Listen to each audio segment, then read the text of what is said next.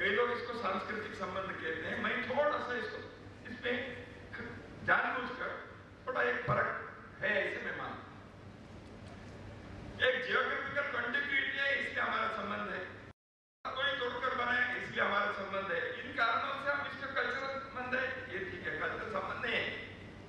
समझ से ये हमारे सिविलाइजेशनल संबंध है। सभ्यता के एक संबंध है।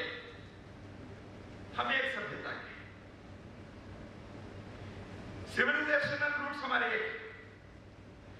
कल्चरली क्या डिफरेंस हुआ? इसलिए मैं कहना चाहता हूँ। भारत के संस्कृति में, हमारे जीवन दृष्टि में, हमने कभी स्टेट को एक रिलीजियस थियोक्रेटिक स्टेट बनाया नहीं, बनाना नहीं चाहिए। ये यहाँ की संस्कृति है।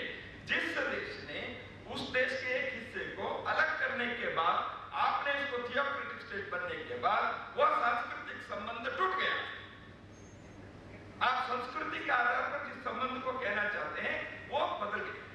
सिविलाइजेशनल संबंध आज भी है।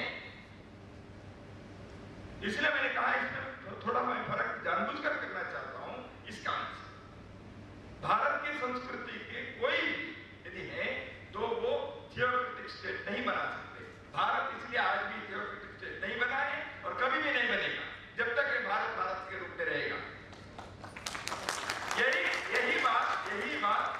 भारत से टुकड़ा होकर नए देश बनाए लोग ये लिख सकते मैं कहता उसको सांस्कृतिक संबंध है। हमारे दो भाई हैं, ठीक है। लेकिन आज नहीं हो रहा है। आपने इस देश के सांस्कृतिक विरासत को, जिस विरासत से आप खड़ा हुए, उस विरासत को आपने नकारा है।